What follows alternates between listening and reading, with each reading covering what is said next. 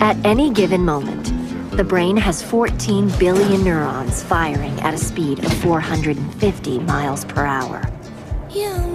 We don't have control over most of them. When we get a chill, goosebumps. When we get excited, adrenaline.